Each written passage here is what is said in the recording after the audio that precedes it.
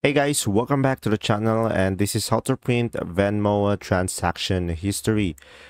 So guys, remember that you must do this on the desktop. So just simply go to venmo.com and log in into your account and simply go to your profile. And now once you are on your profile, just simply go ahead and click on statement in the upper right corner. And from there, you can then download your transaction history as a CSV file. So just simply click on download the CSV button next to the date selection that you prefer. And from there, you can view any period of your entire transaction history from the beginning of your account. But Remember guys, you can only view or download one month at a time. And that's simply about it. I hope this video helped you understand more about Venmo. And there you go.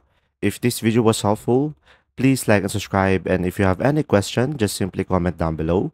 And I'll try my best to answer your question. And thanks for watching. See ya.